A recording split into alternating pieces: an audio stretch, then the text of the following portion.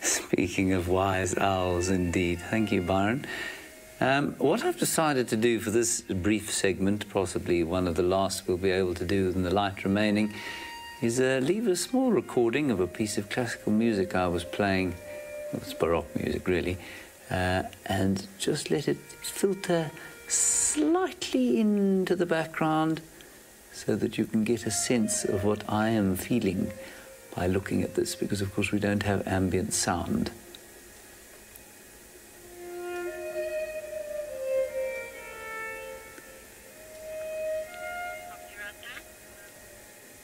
Isn't that nice?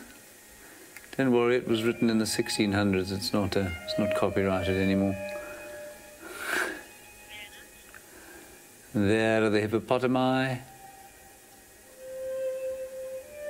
Hmm, isn't that nice?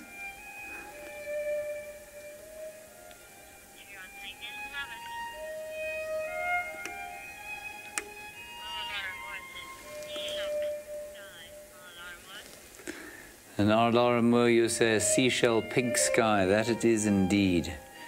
They fade this out before it finishes and gets replaced with something by ACDC, which of course will slightly change the effect of what I was trying to create.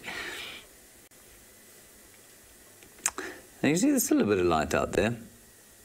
And they're two, well, slightly less no, in fact, they are in amongst an enormous group. Look, there are thousands of hippo here. That's a tiny little thing. Thinking about getting out of the water, probably being trying to be convinced to get up by a mum there, saying, "Come on, come on, kids, it's time to get up and go foraging." I wonder if hippo have night schools for the little ones. Perhaps that's a teacher just giving some instruction.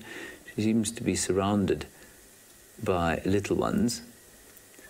She's probably talking to them about the advantages of eating red oat grass versus the sort of uh, more palatable but less nutritious grasses.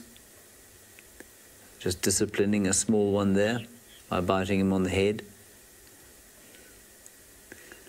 Glad I wasn't bitten on the head when I was at school. Well, not frequently anyway. Not by a teacher normally. I think let's stay on them. He's obviously a trouble causer. Look at him. Isn't it amazing how all mammals just about like to play when they are little? Some continue into adulthood, uh, but many, many only when they're kids. But eventually, an adult is compelled to join in the playing and then we have wonderful little heartwarming scenes like the one we're seeing right now. It's definitely a, nursery or a creche or something. I mean, I don't think that they have twins, Hippo. I'm pretty sure they don't.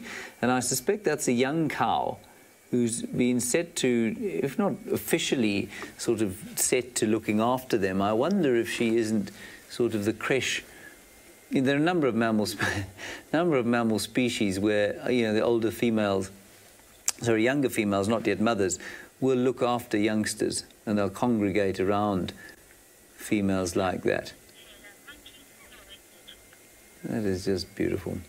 Alrighty, let's head back to Taylor, who's got a primate trying to play those silhouette game things, I think.